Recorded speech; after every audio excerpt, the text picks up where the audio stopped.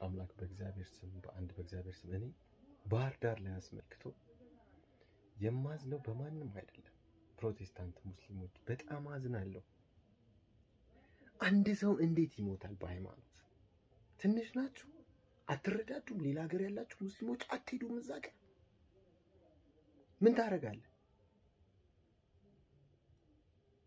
አላህ ቁርአን በዚህ ጉዳይ ምንድን ነው የሚለው? በሃይማኖት የመጣ ምንድን ነው የሚለው? እንዴት ሰው ሲገደል ዝም ትላላችሁ?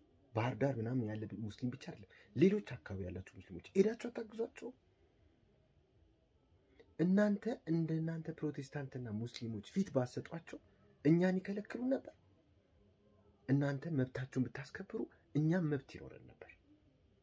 አማራ ክልል አማራ ክልል ኦርቶዶክስ ብቻ ነው እንዴ ማሰጠው? ሁላችንም እኮ አማራ ነን። ማን ነው መብት የሰጠው ለነሱ? ጠንቋይም ቤት ያመልካል እንዴ? ማን ነው? እኔ የማዝነው በማን እንደሆነ ታውቃላችሁ? ብዛት እያላችሁ የሰው ኃይል እያላችሁ ምን ያስፈራችሁ? የሚያስፈራችሁ ምንድን ነው? ማን ነው ዝም የምትለው? የእውነት ይህ ጉዳይ በጣም ነው የማዝነው። እውነት ለመናገር ስፔሻሊ መብታችሁን ማስከበር ያቃታችሁ ኃይልና ጉልበት ይዛችሁ ፈሪ የሆናችሁ ቦቅቧቆች ናችሁ። አንድ ሰው እንኳን እንዴት ይሞታል? አንድ ሰው እንዴት ይነካል?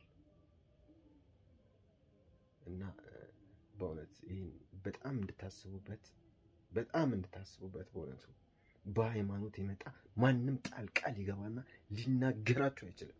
መብትም የለውም። አሁን ዝም ካላችሁ ነገ አናታችሁ ላይ ይወጣሉ። ለማየት ያብቃችሁ።